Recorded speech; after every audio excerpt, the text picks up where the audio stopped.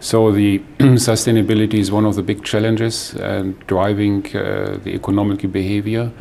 of, uh, of Europe and starts to become the driver for Europe. And uh, for us, uh, it is essential to focus on the CO2 neutrality of our raw material base